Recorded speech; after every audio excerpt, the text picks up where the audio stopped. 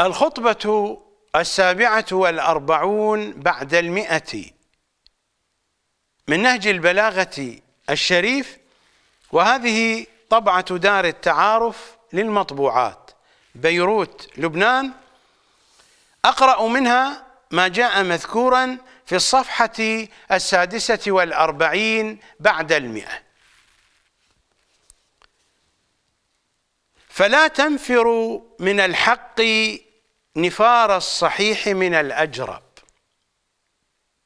لماذا؟ لأن الحق مر. لأن الحق ثقيل. لكن عاقبته حلوة هنيئة مريئة مريحة مشرفة. مضيئة بخلاف الباطل الذي يكون خفيفا وحلوا ولكن عاقبته ثقيلة وبيئة قميئة وسخة مظلمة متعبة. مقرفة. على حد سواء في الدنيا والآخرة. وبغض النظر أكان الإنسان يحاسب عليه أم لم يحاسب. وكذلك فإن الحق مثلما حدثتكم عن عاقبته. يعيش الإنسان معه بتلك المعاني بغض النظر. أكان الإنسان يجازى عليه خيرا أم لم يكن ذلك؟ فلا تنفروا من الحق نفار الصحيح من الأجرب. والباري الباري الذي لا مرض فيه ولا مرض عنده. والباري من ذي السقم. واعلموا أنكم لن تعرفوا الرشد حتى تعرفوا الذي تركه هناك كثيرون ينفرون الناس من قناة القمر. لماذا؟ لأن قناة القمر يخرج فيها هذا الماسوني يقصدونني وإنه ينتقص من المراجع. الكلام هنا هذا الانتقاص من المراجع حق أو باطل. هذا هو الذي يتحدث عنه أمير المؤمنين. فلا تنفروا من الحق. نفار الصحيح من الأجرب. والباري من ذي السقم. الذي يصل إلى مسامع من أن مشايخ السنة يقولون لشباب السنة أن لا يتابعوا هذه القناة بعدما كانوا يأمرونهم بمتابعتها. حينما كنت أتحدث في موضوعات تخص الشيعة فقط لكن حينما قادتني الموضوعات للحديث عن السنة قاموا بنفس الدور الذي يقوم به شياطين النجف وكربلاء. بمنع الناس. بالنسبة لي لا يفرحني هذا ولا يحزنني. الذي يفرحني أنني أقوم بواجبي ولا يفرحني. أوافقني الناس أم خالفوني؟ الذي يفرحني حينما أؤدي عملي بصورة صحيحة. حينما أتقن المطالب هو هذا الذي يفرحني. فهذه وظيفتي. إنني أديت وظيفتي. الآخرون يقبلون كلامي يرفضونه. تلك مشكلتهم. ما هي بمشكلتي؟ لو كنت أعبأ بالآخرين. لما جلست هذا المجلس ولما تحدثت بهذه الجرأة ولما بينت هذه المطالب الخطيرة على المستوى الشيعي أو على المستوى السني. فلا تنفروا من الحق نفار الصحيح من الأجرب والباري من ذي السقم. واعلموا أنكم لن تعرفوا الرشد حتى تعرفوا الذي تركه. هذا هو المنطق الذي سيتبعه إمام زماننا في نبش قبري الرجلين. هذا هو المنطق الذي سيتبعه إمام زماننا في المحاكمة المهدوية العالمية. وإلا لن يستقيم واقع الحياة ولن يصل العدل إلى الجميع. ما لم توضع النقاط على الحروف وما لم يشخص أهل الباطل ويشخص أهل الحق. واعلموا أنكم لن تعرفوا الرشد حتى تعرفوا الذي تركه أقول للذين يطلبون مني دائما ألا أتحدث عن معايب المراجع وإن كانت حقيقية وإنما أعرض حديث أهل البيت. أقول لهم إنكم أغبياء وشياطين في الوقت نفسه ومن أنكم حمير حمير للشيطان. إنني بايعت في بيعة الغدير على منطق علي. مثل ما قال لي رسول الله هذا علي يفهمكم بعدي. موازين التفهيم عند علي في المنطق العلوي الشريف هي هذه. هكذا تدرك الحقائق. وهذا هو منطق القرآن. هذا هو منطق القرآن. في الآية السادسة والخمسين بعد المئتين بعد البسملة من سورة البقرة. قد تبين الرشد من الغي. كيف ذلك؟ فمن يكفر بالطاغوت ويؤمن بالله فقد استمسك بالعروة الوثقى لا انفصام لها. كيف يكفر بالطاغوت إذا لم يكن عارفا؟ بالطاغوت وشؤونه وتفاصيله. فبعد أن يعرف شؤون الطاغوت سيكون كافرا بالطاغوت وبعد كفره بالطاغوت سيؤمن بالله. وتلك هي كلمة التوحيد. لا إله هذا كفر بكل الآلهة إلا الله. هذا إيمان بالله. هذه هي كلمة التوحيد. تبدأ بالنفي تبدأ بالكفر. أننا نكفر بكل الالهه ثم نستثني.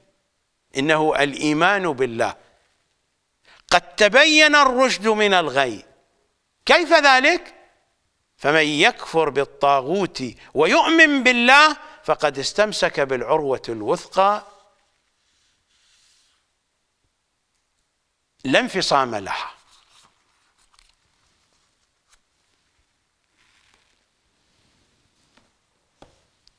هذا هو منطق علي في نهج البلاغة الشريف وهو منطق قرآنه.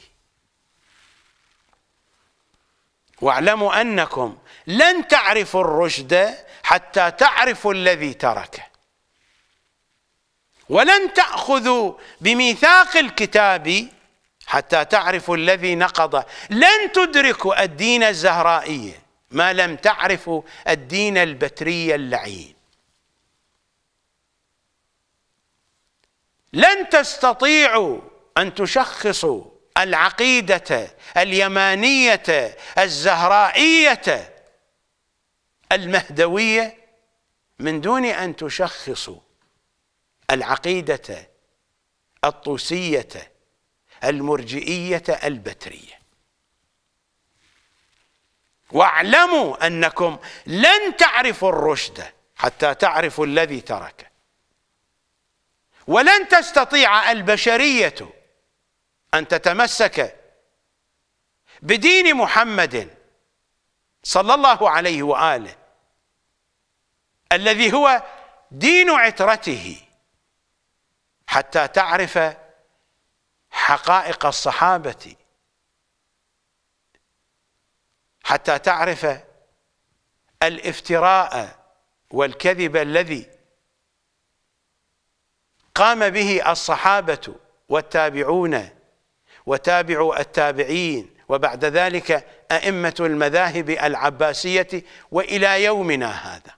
إلى المؤسسات الدينية السنية المعاصرة وإلى زمن الظهور الشريف.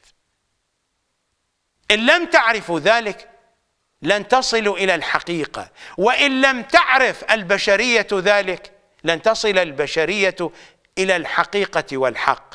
ولذا فإن أول خطوة في المحاكمة المهدوية العالمية أن يقوم الإمام بنفسه بنبش قبريهما. هذا هو الذي بايعنا عليه في بيعة الغدير. إنه المنطق القرآني المحمدي العلوي الزهرائي الواضح الصريح. فلا تنفروا من الحق. هذا الذي سيقوم به إمام زمانكم هو الحق بعينه. فما لكم تنفرون منه؟ فلا تنفروا من الحق نفار الصحيح من الأجرب. والباري من ذي السقم واعلموا أنكم لن تعرفوا الرشد حتى تعرفوا الذي ترك. ولن تأخذوا بميثاق الكتاب حتى تعرفوا الذي نقضه ولن تمسكوا به حتى تعرفوا الذي نبذه اذا لابد من كشف الأمور بشكل كامل. وهذا يجري في زمان الغيبة. حينما نريد أن نمهد لإمام زماننا لابد أن نشخص البتريين الذين يقفون مانعا شديدا أمام التمهيد للمشروع المهدوي الأعظم. لا بد من كشف حقائق هؤلاء الشياطين. وهذا هو الذي أقوم به. يعجبكم ذلك؟ لا يعجبكم. لا أعبأ لا بإعجابكم ولا بعدم إعجابكم. واذهبوا إلى الجحيم. اذهبوا إلى الجحيم بإعجابكم أو بعدم إعجابكم. هذه وظيفتي أنا أؤديها ولا أبالي بكم.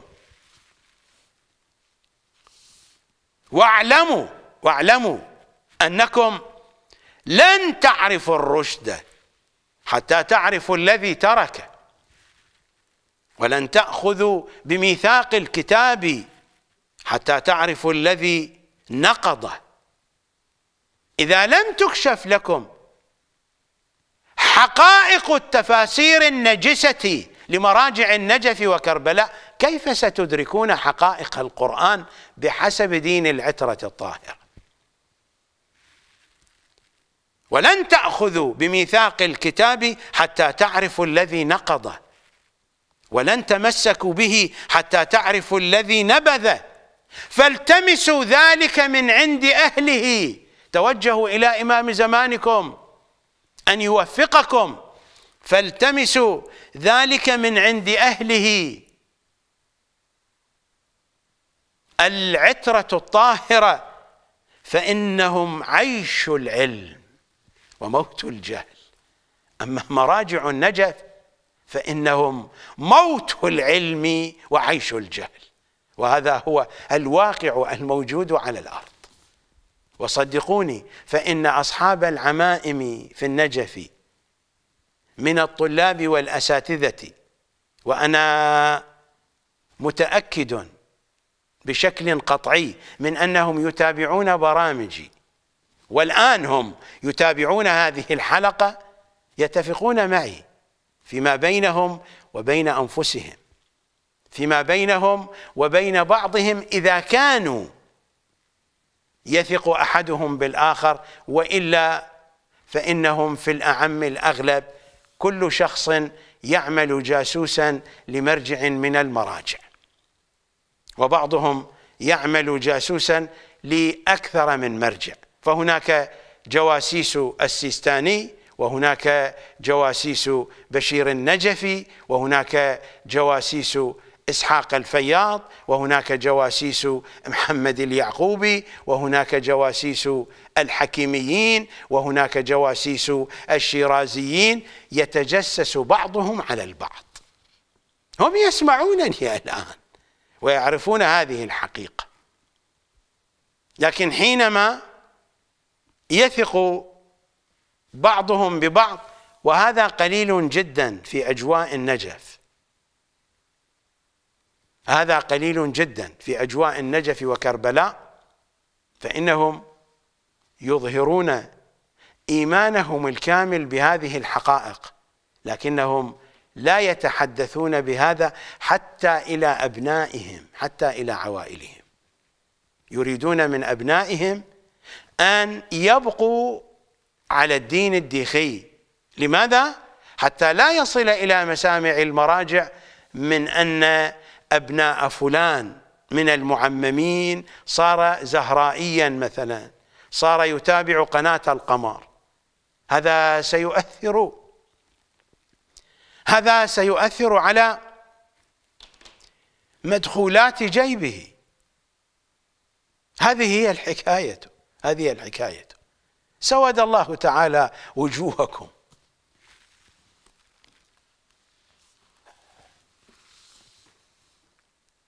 فالتمسوا ذلك من عند أهله. من العترة الطاهرة. فإنهم عيش العلم. وموت الجهل. هم الذين يخبركم حكمهم عن علمهم.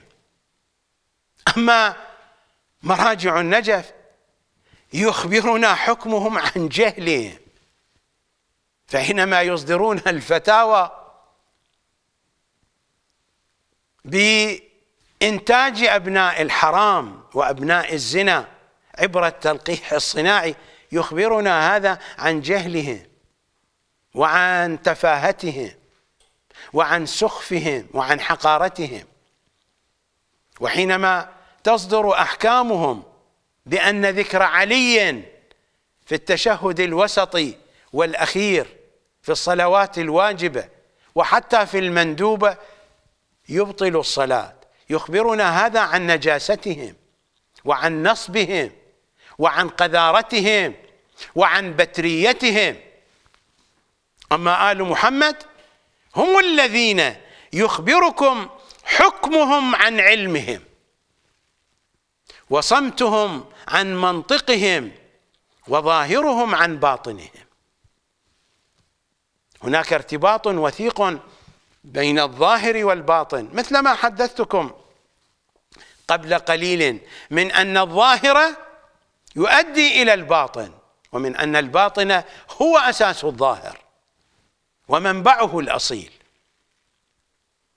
هؤلاء هم آل محمد فإنهم عيش العلم وموت الجهل. بينما البتريون ماذا حدثنا؟ أمير المؤمنين عنهم أيضا في نهج البلاغة الشريف في الصفحة الثامنة والسبعين من الخطبة السابعة والثمانين. حيث يقول وآخر قد تسمى عالما وليس به. إنهم مراجع النجف وكربلاء.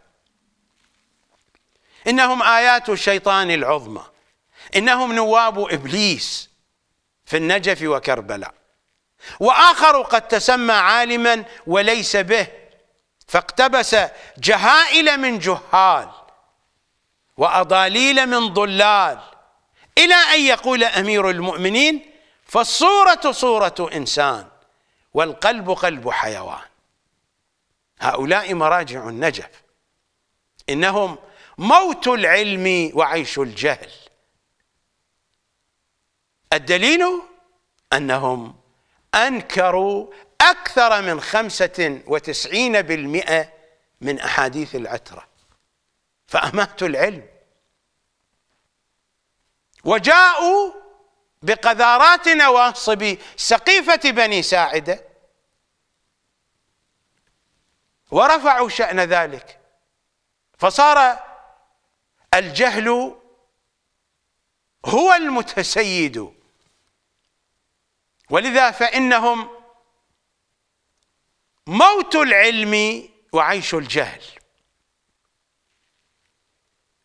فالصورة صورة إنسان والقلب قلب حيوان لا يعرف باب الهدى فيتبعه ولا باب العمى فيصد عنه وذلك ميت الأحياء.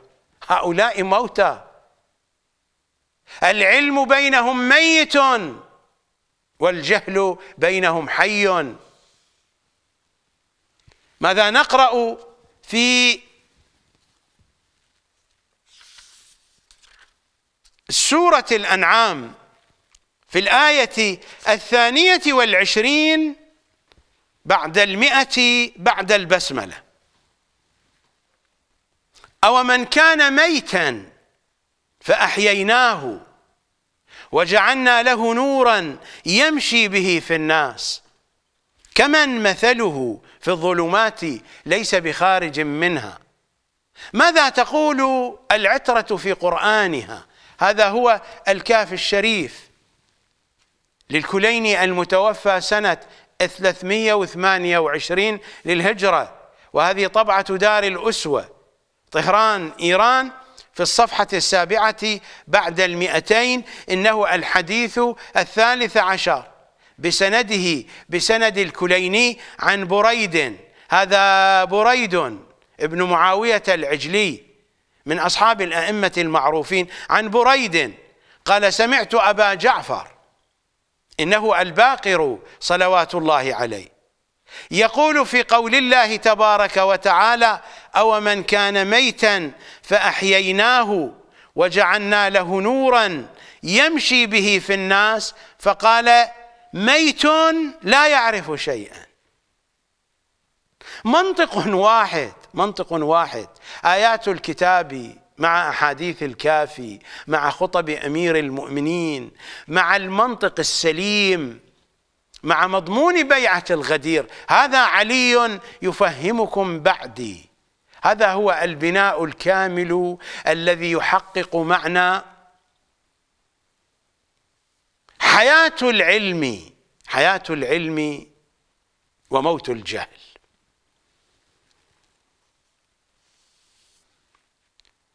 فقال ميت لا يعرف شيئا.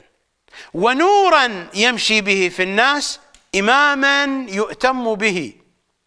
كمن مثله في الظلمات ليس بخارج منها؟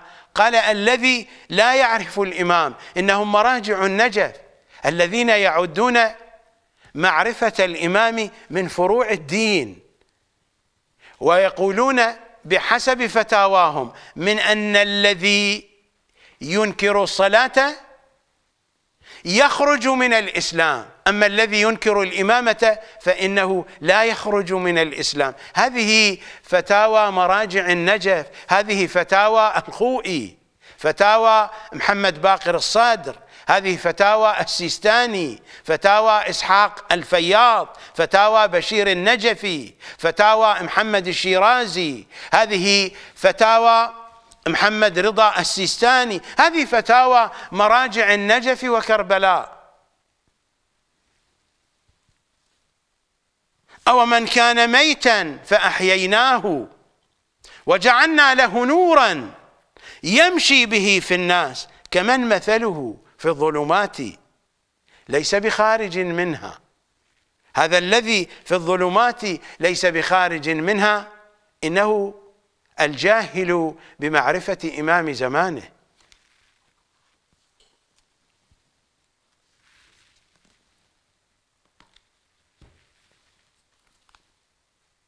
فإنهم عيش العلم وموت الجهل. هم الذين يخبركم حكمهم عن علمهم وصمتهم عن منطقهم وظاهرهم عن باطنهم. لا يخالفون الدين ولا يختلفون فيه. فهو بينهم شاهد صادق وصامت ناطق. هذا هو دين العترة الطاهرة الذي لا هو بدين سقيفة بني ساعدة ولا هو بدين سقيفة بني طوسي. نذهب إلى فاصل.